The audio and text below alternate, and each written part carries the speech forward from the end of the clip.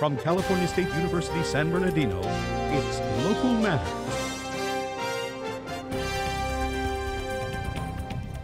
Hello, I'm Julia Anne Davis, and welcome to Local Matters, featuring stories from across the Inland Empire. And I'm Bryan Wilson.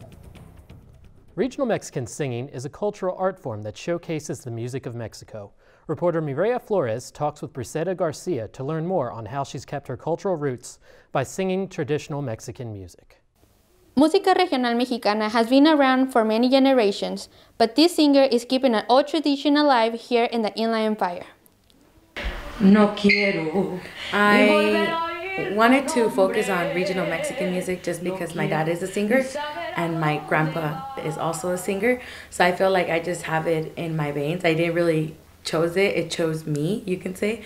And they sing regional Mexican music and well, I myself come from full Mexican family. So I feel like since I got that gift of singing, it was kind of a default that I had to sing regional Mexican music. I definitely do think that this genre represents my family, where I come from, because most people think that if you're born here, you lose your heritage, but I don't feel that way whatsoever. I've tried singing English music, but I just don't feel like I get in that same emotion as to when I sing something in Spanish or something in regional and it might even be the same words or the same you know like scenario of, of the lyrics in the song but i just don't feel it. And i feel that if i don't feel it then i'm not portraying the song and i'm not interpreting the song the way it's supposed to be. Por eso fue